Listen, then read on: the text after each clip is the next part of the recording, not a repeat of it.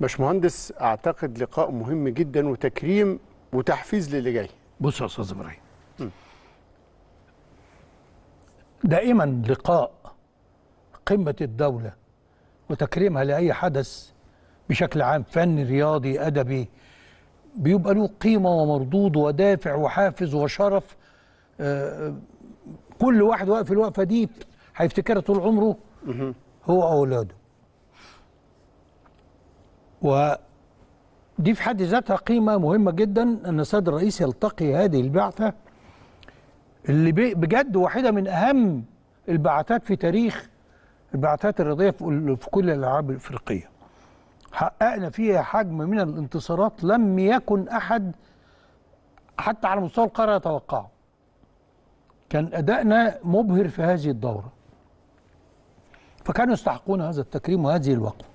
ولكني أتوقف أمام أربع رسائل أو ثلاث رسائل آه، سيد الرئيس قالهم في الكلمة القصيرة ولكن بتركيز ومباشرة وعمق كل واحدة فيهم تستحق نتأملها ونفكر فيها ونسعى إليها. يعني قال طبعا لأول مرة وش كده؟ إن كتر الميداليات والتطور وعددها ونوعيتها الذهب والفضة والبرونز بتعكس مدى تحضر الدول والشعوب. إذا الربط بين الانتصارات الرياضية وما تحققه المسألة يا جماعة مهمة جدا جدا على المنظور الشعبي اللي بيسعد الشعب وعلى المنظور المؤسسي آه، والرسمي اللي. تنظر إليه الدولة إنها مش بتحرت في المية لا دي بتقدم لشبابها. كل الفرص اللي تخليها تحقق مثل هذه الانتصارات وتحس إن هي في مردود. الكلمة دي هربطها بحاجة في الآخر. ال- النقطه الثانية قالوا يعني إحنا مستنيين أكتر من كده ليه؟ لأن إحنا عددنا كبير عددنا السكاني كبير. ففرصة إن يخرج من عندنا أبطال المفروض تكون كبيرة ترتبط بهذا العدد الضخم جدا من السكان. وده معناها رسالة إلى القائمين على أمر الرياضة انشروا الرياضة ها؟ وخلوها في متناول كل مواطن. وبعدين ابتدوا مرحلة الانتقاء قطاع البطولة وده رسالة أكتر على التركيز على المواهب والانتقاء السليم. وإتاحة الفرصة والتهيئة السليمة. محدش له حجة بقى دلوقتي. دي كلمة مهمة تانية. التالتة. إنه بيقول ورغم إن حققنا كل هذه الانتصارات أنا عايز أشوف أدائكم ألسلوكي وأنكم تبقوا ما معناه سفراء لهذه الدولة. نفخر بتصرفاتكم. محدش يتصرف بطريقة قد تحرج آه، بلدكم. عايزين تصرفاتنا على قدر المسؤولية. وأعتقد إن رأس الدولة هيبقى سعيد جدا لو حطينا مقياس زي محمد رشوان قدام عينينا. هكذا يكون رسالة من لاعب واحد تعمل عمق حضاري وصداقة مع الشعب بأكمله زي الشعب الياباني. صحيح. وهنا تصبح الرياضة ورسالتها قد تحققت. آه. آه إحنا عايزين نكسب وعايزين نفرح بس عايزين سلوك. متزامن لا يقل أهمية عن تحقيق الميدالية بل أحيانا يفوقها يعني خاسرة. آه رشوان الميدالية الذهبية وكسب احترام العالم وما زلنا نحصد آه قيمة ما فعله هذا اللاعب الخلوق والقدوة وما قدمه للعالم. إن المصريين هكذا يترفعوا ويتنافسوا بشرف. آه وطبعا هو ده بيقول إنه إنه متابع للأحداث اللي بتحصل حوالينا والمشاكل اللي بتحصل حوالينا ورسالة إلى كل الاتحادات. أنتم مسؤولين تقدموا لنا شباب يحسن تمثيل بلدهم سلوكيا طبعا وفنيا. محدش له حجة فيما هو قادم لكن أنا عايز أقول إن برغم كل ما حققناه إحنا عايزين نبص باستمرار إن الجزائر والمغرب وتونس بتركيز أكتر استطاعوا أن يحققوا ميداليات ذهب. أولمبية. أولمبية؟ لا. حتى في السباحة اللي هي صعبة جدا. تونس من خلال اثنين لعيبة آه، عملوا إبهار.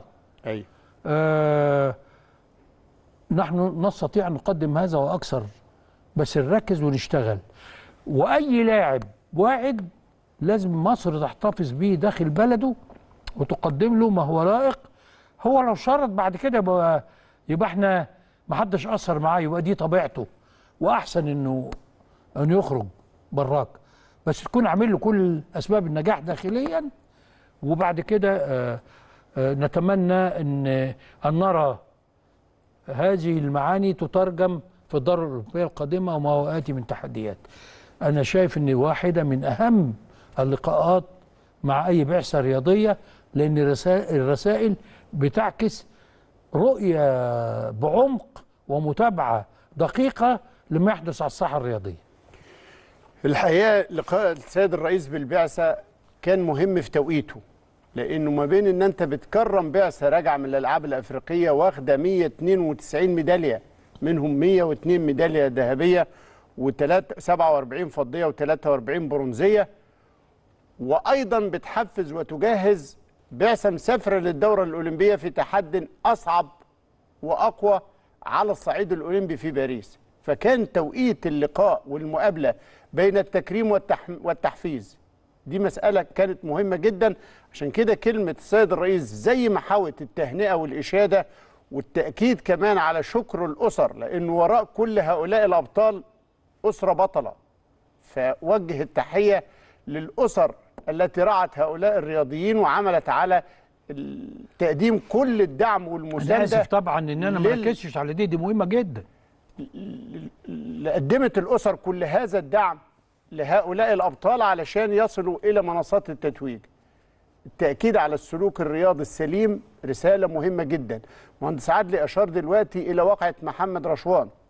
محمد رشوان بصوا إحنا بنتكلم بعد كل هذه السنوات الطويلة على من السلوك 84. الرياضي السلوك الر- 30 سنة السلوك الرياضي اللي قدمه بشكل 50 محترم جدا سنة 30 آه 30. السلوك 40. الرياضي 40 السلوك الرياضي المحترم اللي قدمه رشوان لل- للعالم كله من خلال إن هو بيواجه لاعب ياباني اللاعب الياباني رجله مصابة في مباراة للجودو ما رضيش يلعب على الإصابة ولعبوا على رجله السليمة اليابانيين لغاية النهارده لغاية بعد بكرة على فكرة بعد بكرة الأربع السفير الياباني في القاهرة بيستقبل في منزله البعثة المصرية للجودو اللي مسافره دورة الألعاب الأولمبية في باريس. هو عنده السفير عنده علاقة بالجودو وعنده اهتمام بالاتحاد المصري للجودو. فمستقبل ودي لعبة مين؟ اليابانيين. لعبة مين؟ آه. رشوان. آه طبعا ما هو رشوان ضيف شرف دائم.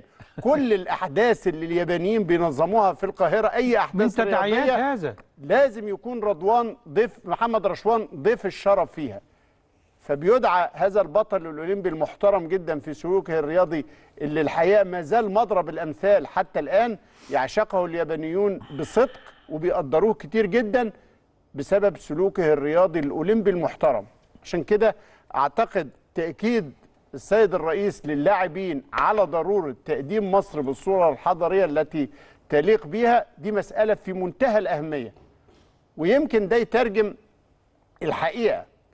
غضبة الإعلام الرياضي اليومين اللي فاتوا بسبب آه، اختيار لاعبة من الدراجات للسفر ضمن البعثة الأولمبية موقوفة بسبب سلوك مع لاعبة ليها.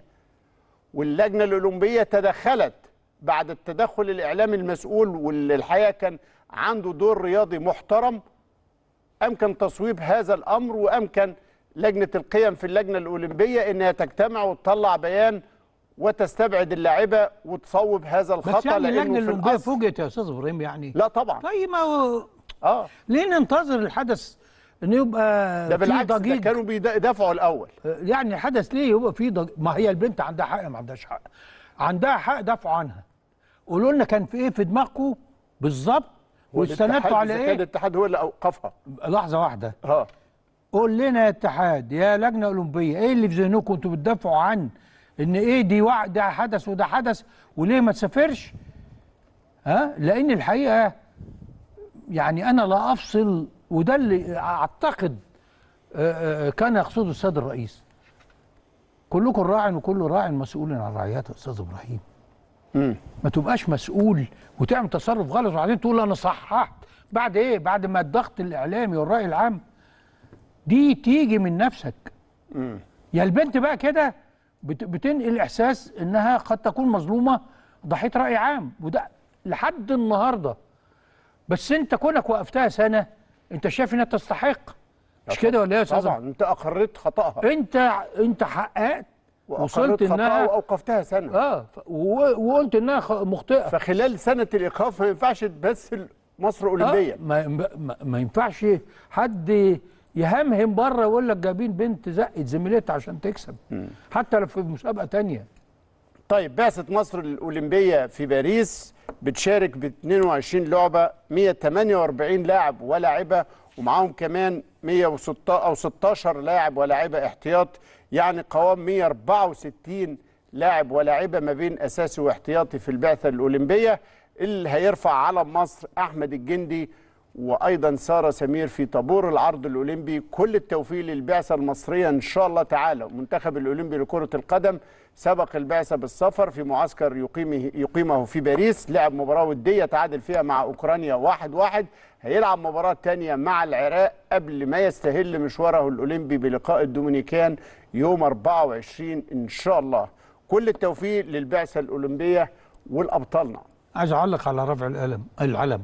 امم المرة دي أنا مرتاح. امم أشعر أن معيارا موضوعيا قد تم وضعه. آه دول أبطال وده- ميداليات. أصحاب ميداليات إنما نقعد نكرم الناس لمجرد إن إحنا عندنا انطباعات. لا. امم أحيانا بيبقى في حد يستحق رفع العلم بس عنده بعد طابور العلم مباراة فبتريحه. هو كان كان الأمل إن لو محمد صلاح شارك فتقديرا. له لمعيار الدولي لا الكبير. معيار هيشد الانتباه. طبعا. وهو راجل عامل حاجة وسفير مشرف وكل طبعا حاجة. طبعا. يستحق. طبعا. محدش هيستغرب. آه. واخد أكتر من الميدالية. إنما إحنا نفاجئ نفسنا بحد بيشيل العلم؟ لا. إحنا عايزين نحط معايير عشان ما حدش يقول إشمعنى؟ أصل ده شرف يا أستاذ إبراهيم. صحيح صحيح. وحقوق ناس بتضيع في النص. صحيح. المرة دي الاختيار كان كان له معيار آه، آه، آه، محترم وتم تطبيقه. لقاء مهم للسيد الرئيس مع البعثة المصرية الرياضية سواء بعد عودتها من الألعاب الأفريقية أو هو بيحفزهم ويجهزهم إن شاء الله تعالى للسفر للدوره للدورة الأولمبية. كل التوفيق لأبطال مصر في الأولمبياد إن شاء الله. هنطلع لفاصل وبعد الفاصل أخبار اهلاويه مهمة.